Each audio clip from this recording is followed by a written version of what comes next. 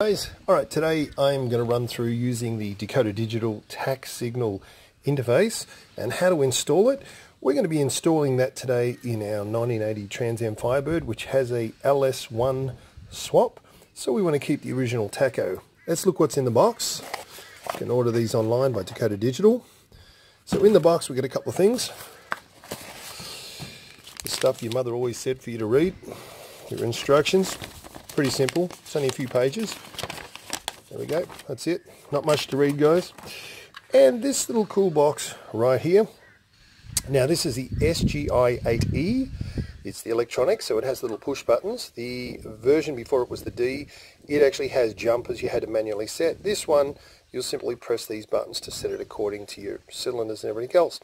Now, in this application, obviously, we're going to be putting this into a uh, upgraded uh, uh, second gen Firebird with an LS engine. So what we need to do is um, set it all. So here we go guys, there's a couple little hugs here, a bit of instructions, and uh, I'll film some of the stuff I do and you guys will get a look at how it all works.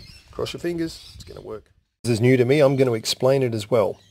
When we hook this up, there is four wires we're going to hook up. That's your 12 volt accessory power. We're going to hook up a ground, naturally.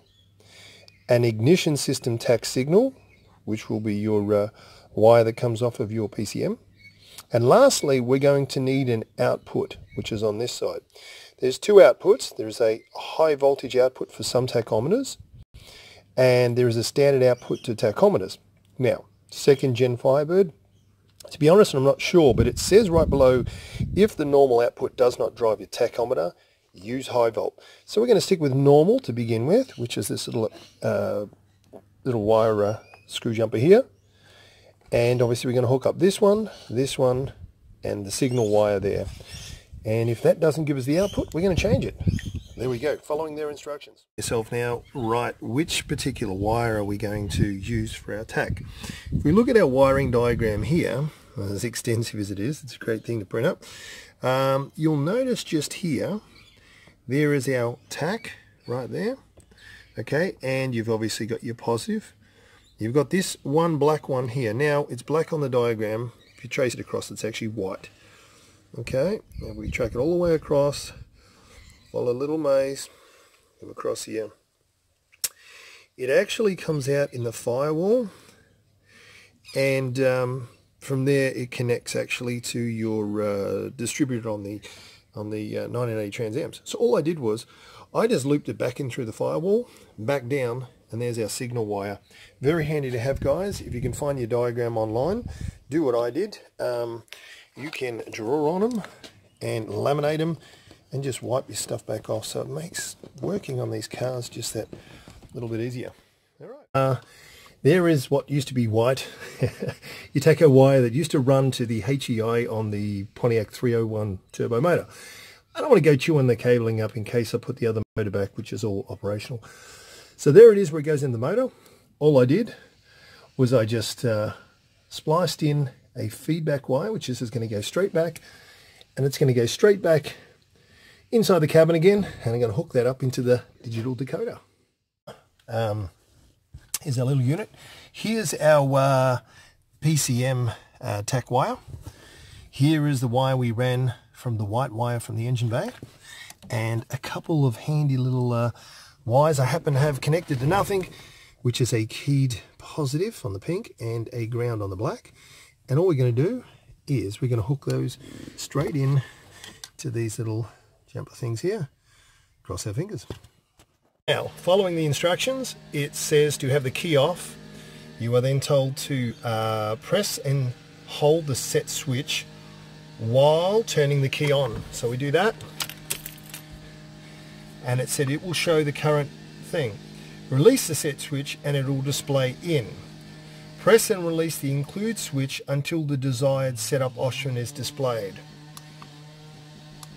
So we can go through and choose our option. So in, eight cylinders,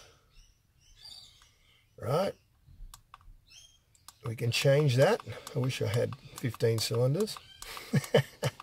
so we'll set it to 8 because it was set 8 anyway. Yep. Out. Oop, gotta go back. out, press set, it's 8. And I think from what I'm seeing there, we've pretty well set it. I'm not sure, but I'll go with the fact I think it's set. I don't know. Yeah. All right. Let's try it in a sec. Uh, welcome back, guys. Um, now, what I've done is I've hooked it all up. I've followed the instructions. So in, in cylinders 8, out 8. And uh, I started up, but what I noticed was the actual uh, gauge was, was out by a bit.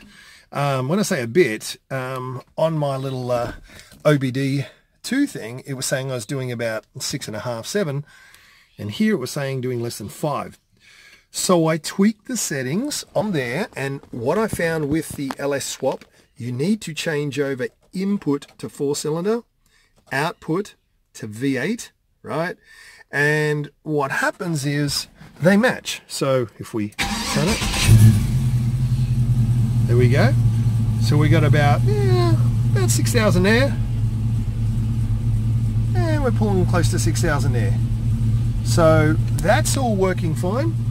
And of course, uh, you now have a working tachometer in your car. And all I have to do now, guys, is uh, obviously put this thing up underneath uh, nice and neatly out of the way. And that's how we get our tacho working on an LS swap in a second gen Firebird or Camaro. Hope you guys enjoyed this video. Do me a favor, please like, subscribe and share all the above. Tell me how much I'm an idiot and my accent's stupid and I'll be happy to comment back one day. Bye for now guys. Cheers.